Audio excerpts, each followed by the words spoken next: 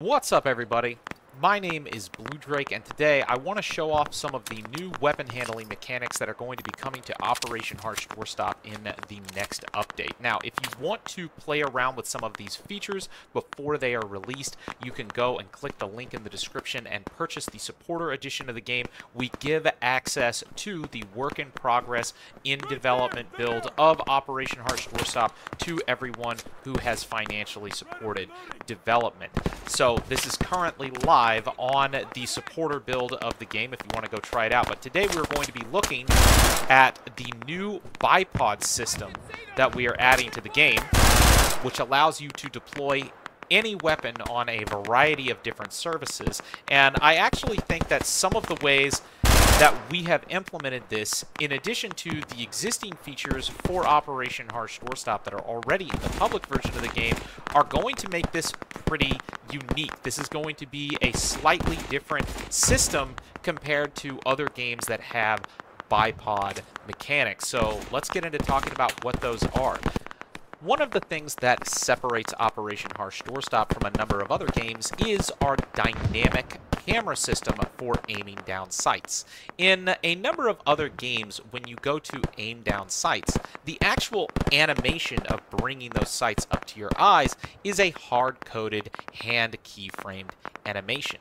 However, with Operation Harsh Doorstop, we actually use a dynamic camera system that allows you to move the camera around the weapon while you are in different stances. So this is your standard hip fire free aim stance. But when you actually go into ADS and you shoulder the weapon, you can move the camera slightly around that weapon while keeping that weapon shouldered, giving you a variety of advantages in different situations. This is particularly useful in close quarters situations because you can switch into a more locked down aim down sight but you can slightly move off bore in order to still have that level of accuracy and control, but without having those sights blocking your vision. And our dynamic camera system, where we can dynamically move the camera around the weapon without having a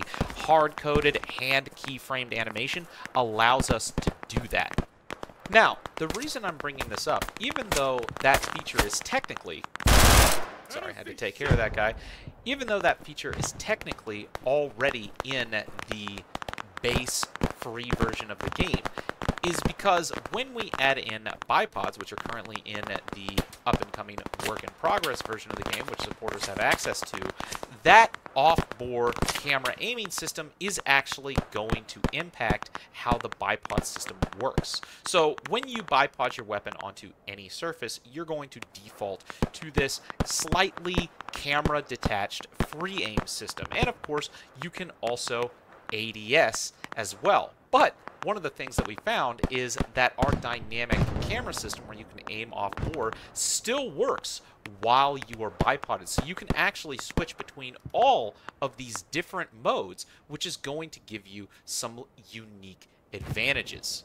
One of the things our development team discovered while developing and playtesting this new system is how effective it is when you utilize it alongside some of these small features that you encounter in most game environments, especially in tactical shooters. These tiny little kill holes are installed in a variety of bunkers and other parts of the environment, especially trenches and other combat environment pieces that in real life are very effective, but in video games are fairly difficult to utilize. Your weapon is going to collide with the surrounding parts of this kill hole, getting the full field of view and having to constantly move around this in order to get a kill shot, it's not very effective, and it stops you from being able to take full advantage of these features in the environment that originally, in real life, were very effective for combat. Now, this new bipod functionality combined with our dynamic ADS system actually helps to solve this problem pretty significantly since now you can deploy your bipod inside of these kill holes and you can take advantage of the full field of view, allowing you to very quickly switch targets and pivot inside of these firing ports in order to survey a full area and cover a full area with a machine gun, a rifle, whatever. But since we already have this dynamic camera system, you can still look through this porthole while bipoded in all of the different camera modes. So of course you can ADS, but you can also engage the free aim system, which allows you to do some interesting things. Like for instance, you can actually aim down further than you can ADS, allowing you to like fire down the side of the bunker which I think is pretty cool. But even while you are ADS, if there's an enemy that is close enough, you can also switch to the off-bore system while still bipoded, allowing you to engage targets in a bipod mode, but not having the sight blocking your vision. And of course, you can still reload the gun while bipoded as well, because I just ran out of ammo. Now, in the update, while weapons with bipods will have certain advantages in terms of stabilization and a couple of other passive perks, you will still be able to take advantage of this feature with any weapon, whether it has a bipod or not. So, for instance, if you want to utilize a kill hole with a rifle, even one without a bipod, you can still do that.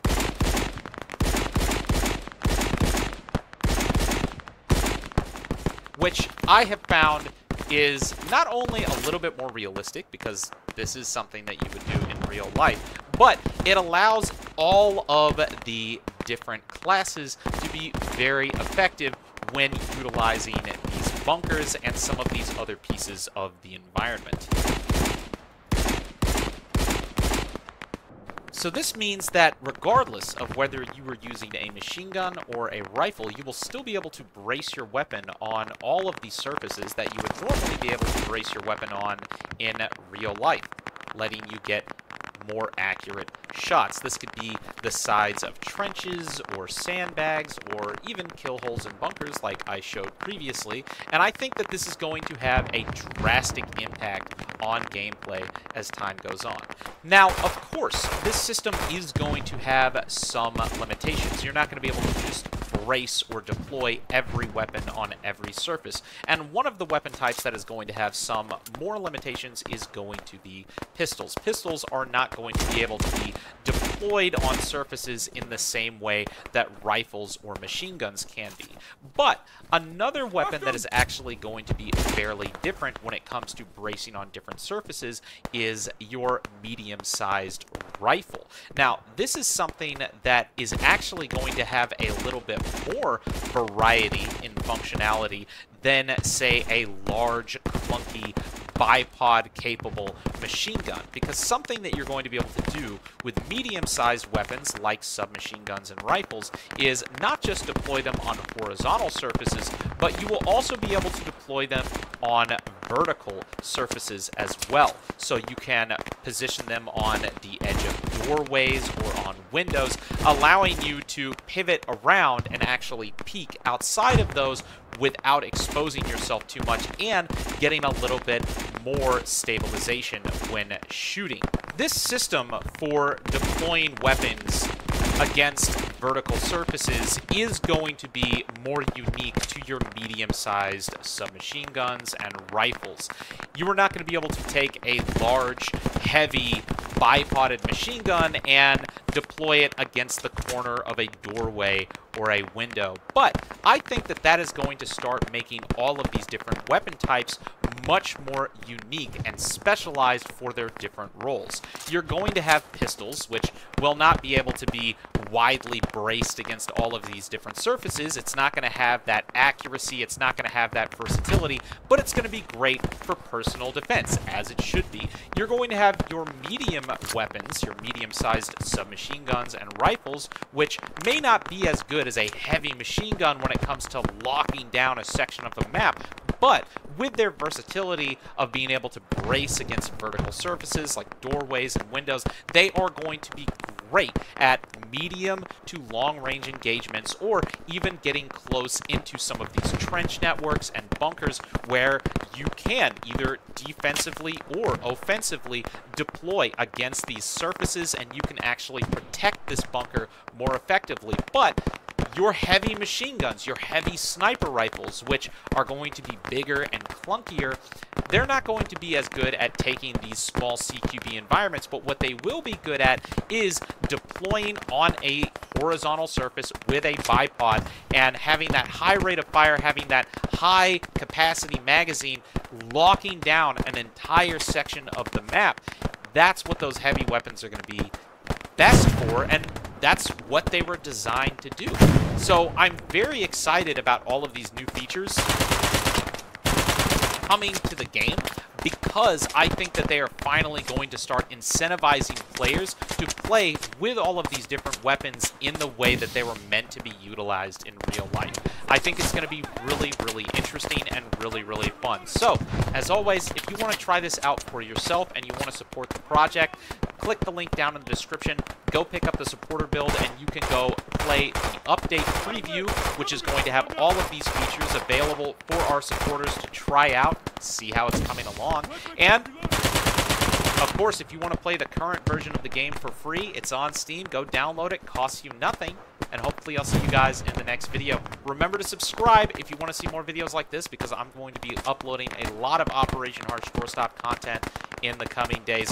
These videos of mine don't usually get as many views, so subscribing and pressing that notification bell, that means a lot to me because I want all of the people who are really interested in this project to be paying attention over the next couple of weeks because there's going to be some awesome things coming down the pipeline. All right, thanks so much for watching. I'll see you guys in the next one.